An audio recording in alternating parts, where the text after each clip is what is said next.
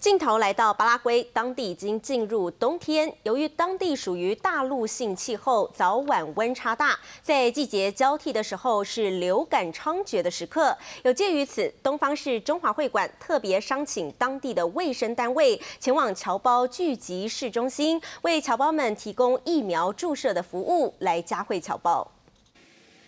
巴拉圭侨胞依序排队，位于南美洲内陆的巴拉圭时序已经进入冬天。为了预防流行感冒，东方市中华会馆商请巴拉圭卫生单位特别为侨胞们开办疫苗注射接种服务。侨领张阿里热心提供个人经营的点心面包店，让卫生单位设点试打疫苗。今天是中华会馆，呃，有请到呃本地的卫福部的工作人员来帮我们各位侨胞，呃，注射这个流感疫苗，还有这个王月病的疫疫苗。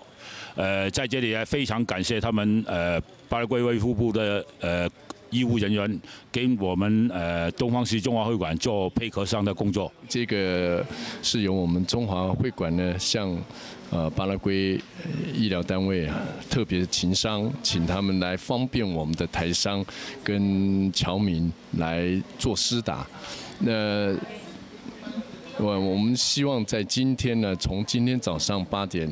十分开始，一直到下午。呃，下午的时间，我们都可以让所有的台商侨胞都能够就近来施打。我们也这是这个中呃中华会馆呢，也也也造福了大家，造福了所有的在东方市的呃。